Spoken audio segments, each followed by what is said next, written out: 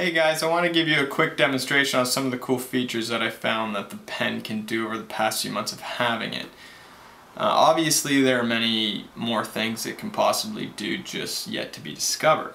So I'll get right into it here. Uh, the first thing I'm going to create is what I call the compass. Compass because it makes circles. Uh, here we go. So I'll take, I'll leave two magnets on, one above and below the cap to hold it in place. And then depending on how large you want to make the circle, you pick a certain amount of magnets. In this case, I'll take six magnets. I'll put them end to end into a chain and then attach them to the side of the bottom magnet of what's attached to the cartridge. Then all I have to do is put pressure on this last magnet and draw a circle like any other compass. And then to put the compass or the pen back together, you just have to um, let it go and it puts itself essentially back together. Um, then just pull the end magnets off and attach them to the other side and pop it on. And there you go. That's how you create a circle with the polar pen. I'll continue straight into creating what I call the revolver. To build the revolver, you want to leave the bottom three magnets on the pen. Pull off the clip and the cap. And then start with three magnets, um, which will be the core of the revolver. Then line up the other six into a chain.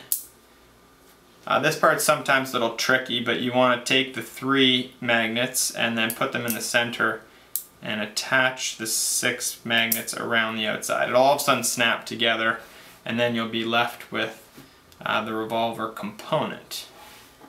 Then all you have to do is make sure you find the, the opposite pole, otherwise it'll just all snap together. So you find the opposite pole and drop it on and there you go. You can spin it. There's very little resistance due to the magnetic levitation and it seems to spin for quite a while. Sometimes I like to display on my desk at work, just like that. And that's what I call the revolver. So the next thing I'll show you is the spring. Um, the spring, I won't put the pen fully back together, I'll just use um, these magnets. So what you want to do is take, take uh, the pen and find the opposite poles um, just a quick tidbit, the pen is called the polar pen due to the north and south poles of each magnet or the entire pen when it's all put together. Um, anyways, continuing. So you just want to break off um, one magnet at a time and then always reversing the poles by spinning the stack of magnets around. So I'll just put four on quickly here. So as you can see, it works like a spring. It actually feels like a spring. It's very difficult. Um, it's actually almost impossible to push all the magnets together. Uh, yeah.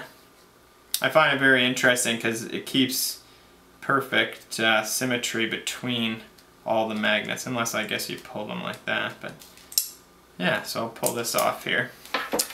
Um, and they have quite a bit of power in them. You can actually put it down and then launch them.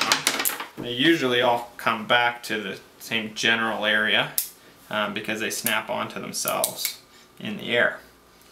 Um, so to put the pen back together you just have to slide it back on, find the right poles and put the components back on and that's how you create the compass, the revolver, and the spring.